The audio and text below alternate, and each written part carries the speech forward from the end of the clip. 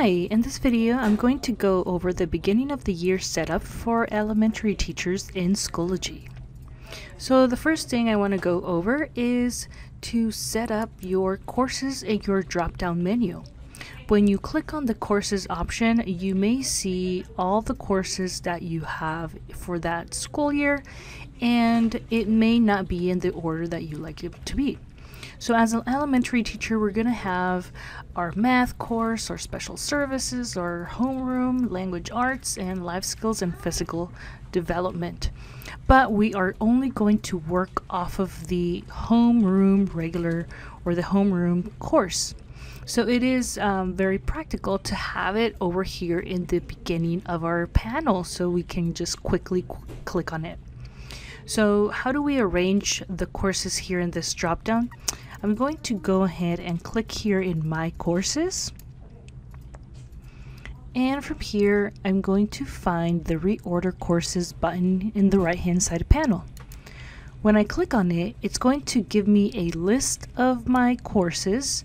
And if I scroll down, it's going to show me that courses that appear below this line will not appear in the course dropdown. So if there are any there are any courses that you have in this bottom section that you like to have in the panel, all we need to do is just drag them up and make them part of our drop down. So the order here in this list is from left to right. So if I want to go ahead and have the homeroom in that very first position, I'm going to go ahead and click and drag this course up to the very top. The order of these other courses is up to you if you like to arrange them in a specific way. However, if we're going to just use this one, we can go ahead and bring over some other courses maybe that you joined because of training um, or anything else that you created to create templates in that you'd like to have handy as well. So I'm going to just close this window and now if I go to courses, I see that my courses are in that order that I specified in that list. Okay, so now the next thing that we'd like to set up is the image for each one of my courses. So right now I'm just going to focus in the homeroom and I want to have a specific profile picture in this course so that students can identify which one they should click on whenever they need to access materials.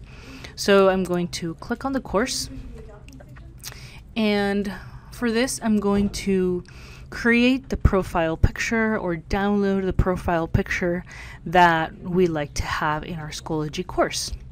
Now in our district we have a very cool tool to design our images or presentations called Canva. So I'm going to share that tip with you uh, for you to create your course images uh, in a more personalized way and fun way for your students. So to access Canva, we go to the app portal and we're going to go ahead and search in the EdTech Tools folder for our Canva icon. Once here, we can go ahead and create our custom size design for our profile picture. So there are two sizes that I would recommend uh, entering here. So first we're going to select inches and this is a smaller type of image, this 2 by 6 inch or if we want a tall type of picture and I'll show you what that looks like in a second, we can go with the 15 by 8 inches.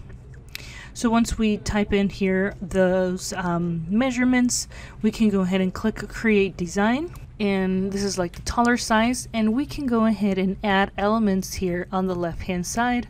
We can search for different backgrounds. We can add graphics and we can search for anything here. So if we want to search for, let's say, books to add to our image, we can go ahead and personalize that however we want. We also have here like cool fonts that you can use to put your course name. Okay, so now here I have two images that I've already worked on. So here is one with a background and the name of my class here with this banner. Or I have this other tall picture with some confetti, my Bitmoji, and the name of my class. So whenever I'm done designing my profile picture, all I need to do is just download this in a an image format so I can go ahead and select PNG and go ahead and select download. And now I'm going to go back to my Schoology course and for me to edit my picture or change my picture, I'm going to mouse over my picture and select edit picture. So the first one I'm going to show you here, I'm going to attach file, the smaller image. So I'm going to click on the file. Once I find it in my folder, I'm just going to select it, select open, and I just close this and I see that my picture is nicely uploaded there. If I click on courses, I see that my class name is displayed there in my tile. So students know that they need to click on this one to access Miss Gama's class. Now the other type of profile picture that is the taller one, let me go ahead and show you what that one looks like. I'm going to select this topic that I downloaded. It's going to cover more in your Schoology um, course here. It's going to make it a longer type of picture. However, when I click on the courses, it's going to not show the entire name of my course. So from here, you can choose which one you prefer if you want the smaller image so that students can see the um, most of the image or you prefer a much more tolerant picture here for your students to see more content or any other designs that you like to add here. Now if you've worked in Schoology in the past and you like to bring over some materials that you've used in prior years over to your current school year, you can go ahead and copy those materials over to your Schoology course. So how do we find those courses um, that we used previously. So we're going to go into courses and we're going to go to my courses. From here, we're going to have to go into this archive tab.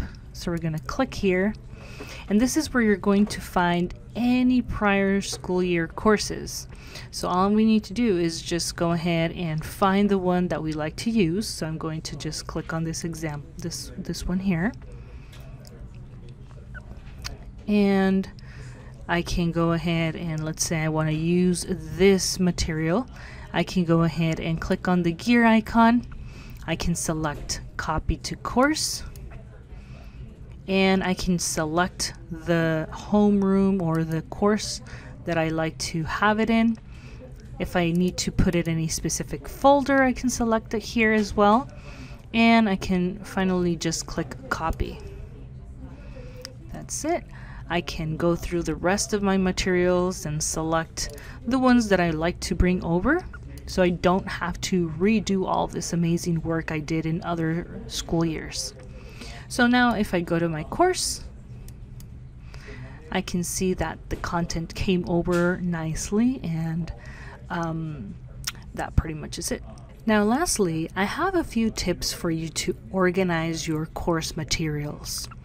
Really, there is no right or wrong as far as how we organize things, but it's important to keep things consistent so that students are able to find everything easily. So we highly recommend to use folders to organize our content. So if you like to have a folder for each week or each unit or each subject, uh, you can certainly create those folders really easily. Um, we can also, another tip, use images and color to assist participants with identifying folders. Uh, it's very helpful for younger learners so that they don't just see a list of folders and text for them to um, search for things. So let me show you a quick way to add images and make your course content a little bit more user friendly for your students. So I'm going to go to that main homeroom regular and I'm going to add a folder. So from here I can select a, a specific color for my folder and I'm going to say that this is for my language arts materials I can do by subjects. Um, I'm not going to add text as a description, but I will go ahead and search for an image.